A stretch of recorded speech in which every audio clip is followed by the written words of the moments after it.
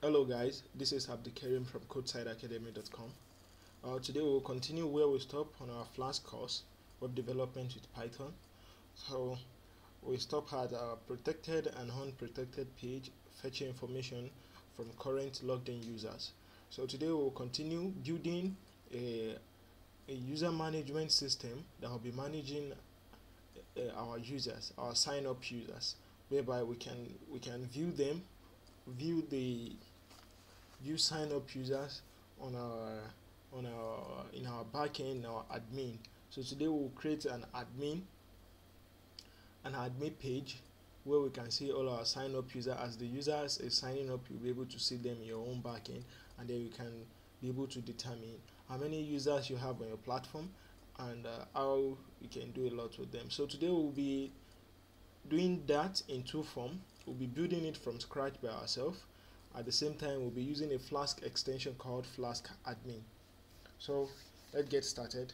So i've already got i've prepared some information some basic html that we'll, we'll be making use of.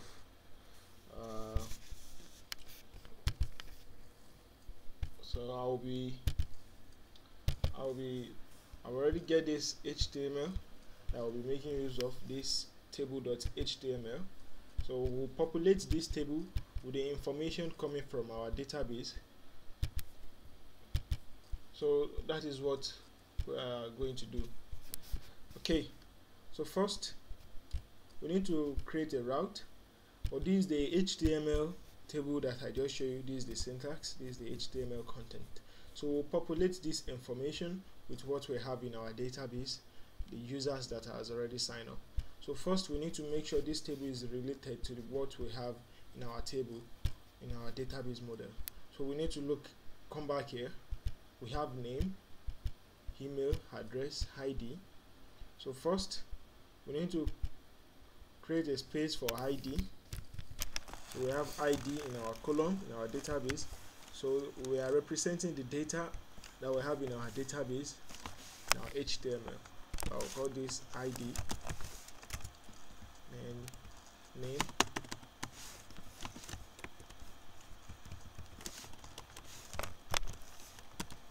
full name oh sorry yeah will be email address.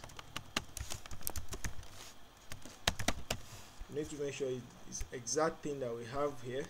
We have name email address. Though you can give it any name you want here but just to make not to get you yourself confused. So you make sure it match everything here. So we have address. Okay. So uh, normally you don't have to display your password to the the password is something that is not meant to know. Okay? So we'll continue. So we have, have we have all this. So let's render this template. We need to create a route. This route we'll call it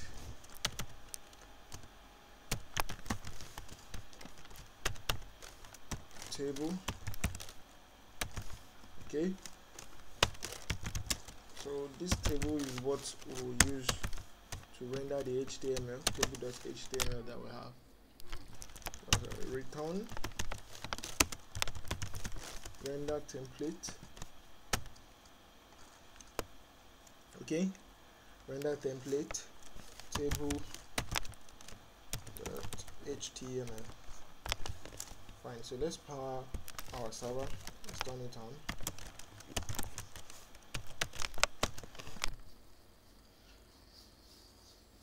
Okay. Says we have something running what do i have running on that port? Okay. I'm sorry about that i have something running on the port.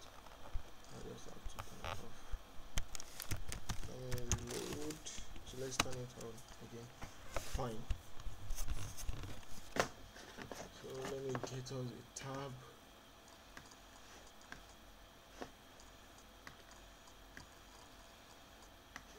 okay. Fine.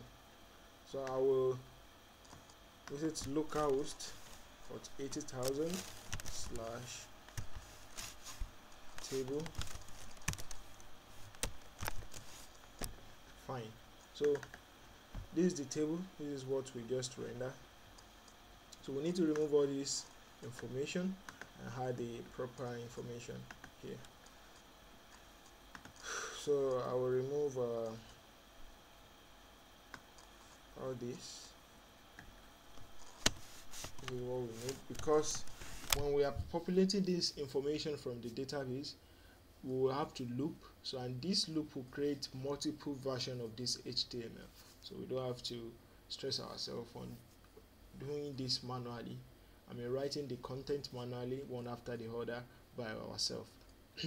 So to be able to do this so we need to use Flask SQL Alchemy which I've already import here. And we'll be making use of this class. Since this class is the name of our table and this is the table we want to get information from. So first I'll come to the table. Okay. I'll create a variable called users I'll say users the, the, the database model name this this database model name. So I'll call the class name dot query dot all so once I use this I've query everything in that table. So now we'll use this with our Jinja 2 template engine. So I'll say users this variable that I have here I'll pass it inside this template so that I'll be able to display it inside the h the table.html users equals to users. So I'll come inside the table here. So I will use for loop to to specify that you are using Jinja 2 template engine in Flask you need to use two double curly bracket. If you are writing syntax you use two double curly bracket and the percentage the modular symbol. But if you are passing just an ordinary variable then you'll be using just the two curly bracket double two curly bracket. So we'll say for user in users if you're python i assume everybody that is learning watching this video tutorial has a background in python already. So if you have a background in python already you understand what i'm doing. This for loop is the same as the one we do in our python using for loop statement. So instead of us using the for loop statement in our python we are using this in our template in our html and what is giving us this ability to be able to do this is the um, is the Jinja 2 template engine. If you remember in our Flask overview the introduction to this course I talked about Flask template engine. So and this is what the Flask template engine will be doing. So it's used to communicate from the back end to the front end. So with this we can talk to our back end from our front end. We can talk to our front end from our back end through Jinja 2 so it's like we are putting Python inside HTML so for users in user so we'll say user this is now a new variable and this is the one we pass in from here users. If you look at it here we pass this this is here. Then we give assign a new variable for it here. Then we'll be using this user dot. So to be able to populate the information we want to get the name. So user dot name. Okay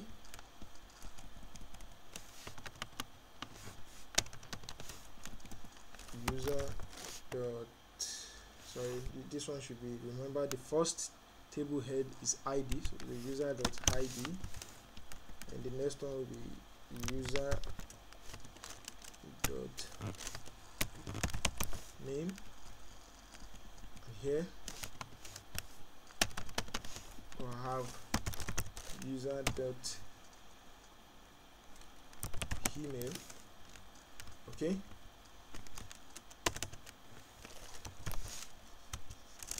so here again. We'll have user dot address. Okay so I need to close this tag here. And close it. So we need to end our for loop. We've got double curly, curly brackets and the percentage. Say end for okay so if we come back to our code here if we reload this page we'll have the information that we have. Lastly the last time we are doing this class. Now we can now see the amount of users signing up on our platform so let me go and create a new account. So I'll come here. I'll enter Daoud. Kevin uh, Daoud at gmail.com password is 111 my address will be nig nigeria just say nigeria.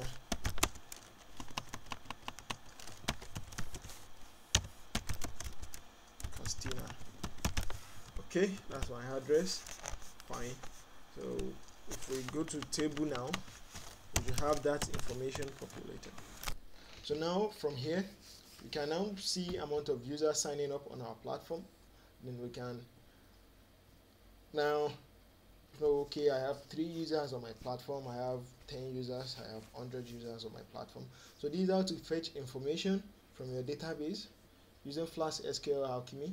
So what if we want to do some other uh, other project i mean other features like uh, we want to be able to do CRUD what do we mean by CRUD CRUD means create read update delete whereby we'll be able to edit this information delete this information and uh, modify it do whatever we want to it and create new one from here.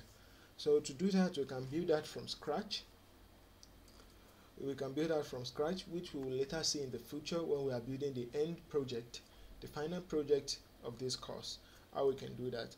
But to be able to do this we have alternative. You don't have to rack your brain to develop all this kind of admin stuff in python we have something called flask admin. Flask admin is an extension for, for python for flask for you the developer to be able to integrate admin control to your to your web apps without thinking of the logic too much. Though, though there's a bit logic behind it but you don't really have to do much logic. You just have to call the functions and uh, the library the extension your code and get things done. So that is what we mean by uh, that is what flask admin will be doing. So first since we have seen what we are doing here we need to protect this page so that people will not be accessing our users information anyhow. So to protect it all we have to do here just have to pass at login required. Okay so now if I go to that page and I try to I can't access the page anymore. The page is now protected. The user have to log in before accessing the table route. Okay fine. So let's quickly talk about this flask admin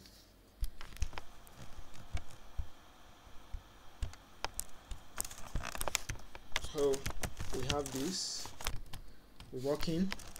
To be able to use flask admin we need to install flask admin on our machine. By using pip now windows you just type pip install flask admin. Okay? So we'll wait for the installation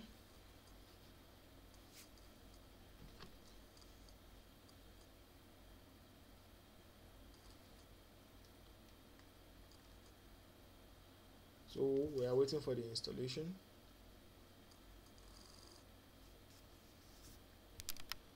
I have to skip this. Oh I'm having network issues so let me do it again. So I have to um, forward uh, skip some part because of the installation was kind of very slow. So now the installation is complete. So we'll continue. So once you are done with the installation you have to import flask admin okay, from flask admin import admin.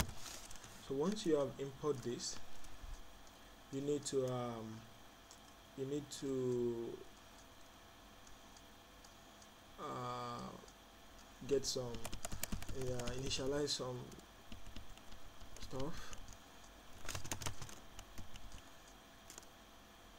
So Flask admin has themes a lot of things like that that you might have interest in. So once you have import Flask admin you can create an object name. Let's call this object name admin.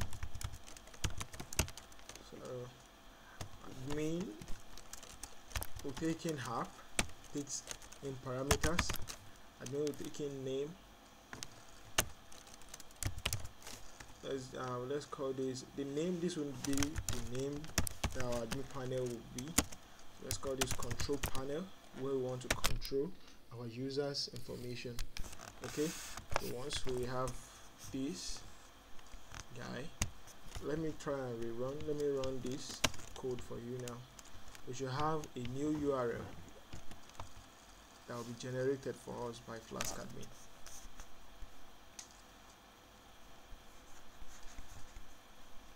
Okay. Um, okay so if we visit here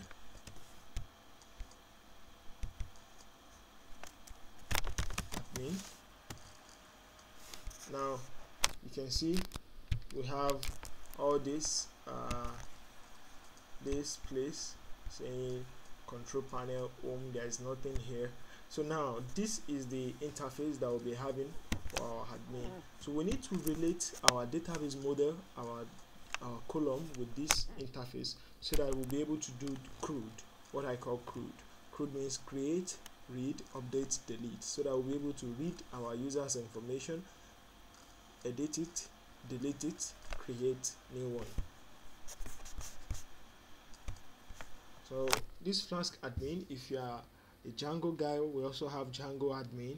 So you can also use uh, we have most uh, frameworks in Python has their own admin uh, batteries included. So it doesn't matter the one you you choose.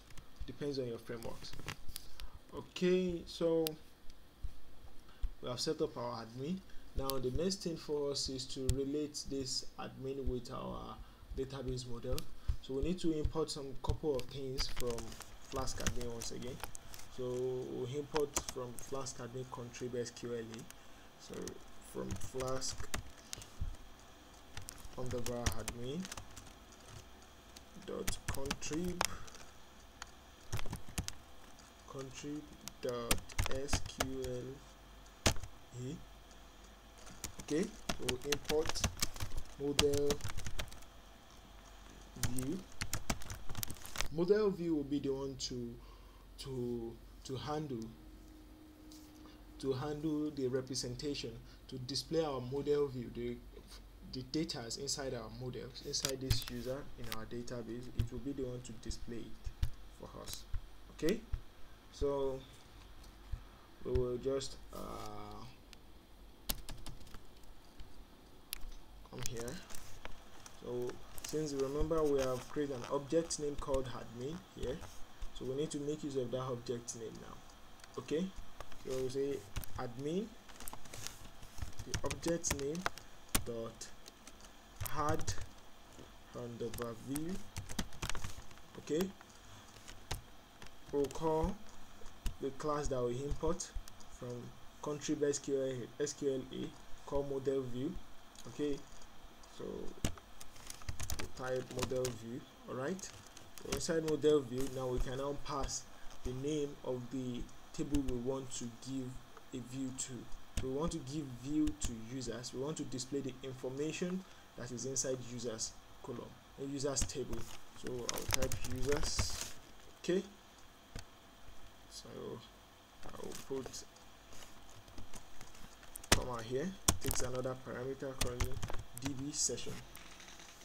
Okay so by now if I should go back to my admin interface and I reload I should have users. And if I click users I should have this information. Now I can now edit the record can change it to I can change it to anything I want. I can change it to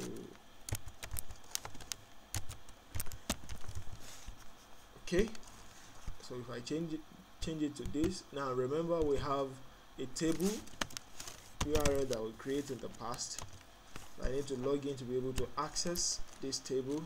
So password is one. Uh, table.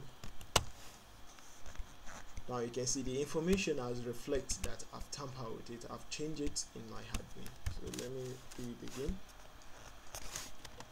localhost 8000 slash admin. Okay so let's change this to now you can see here I reload we have this name. I can now edit it here. You take it back to what it is then I'll save. Now I can read and I can edit. Now you can see the information is changed so now I can delete the account. Let me delete this account and let me reload. Now you can see we have deleted this. And uh, we can create a new account by ourselves from here.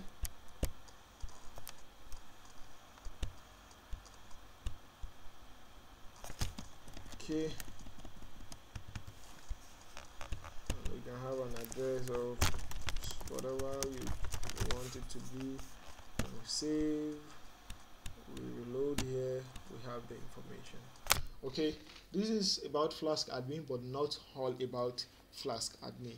So in the next class we'll be stepping further combining the former skills we have been learning in the past making this a kind of well structured project and see how far we can go.